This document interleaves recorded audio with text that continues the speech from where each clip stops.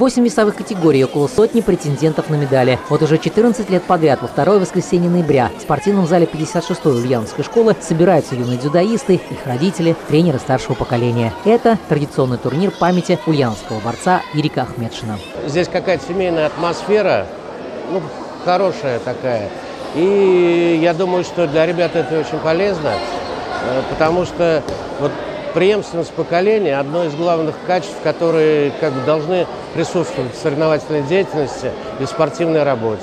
Мастер самбо и дзюдо Ирик Ахмедшин побеждал на различных соревнованиях всероссийского уровня. Завершив карьеру, выступал в ветеранских турнирах, а за пределами борцовского ковра был лучшим братом, преданным другом, мудрым воспитателем. Его жизнь оборвалась в автокатастрофе в начале 2000-х. У него глаза горели, он хотел жить, хотел учить, наверное, нас, молодежь нашу. Он всегда был готов был отдать себя, свое последнее, но помочь людям. В память об Ахмедшине 14 лет назад в школе, где еще мальчишкой занимался сам Ирик, и учредили турнир среди юношей. Ежегодно на него съезжаются спортсмены ведущих клубов региона. Тут можно посмотреть, э, над чем ты должен работать или чему ты научился.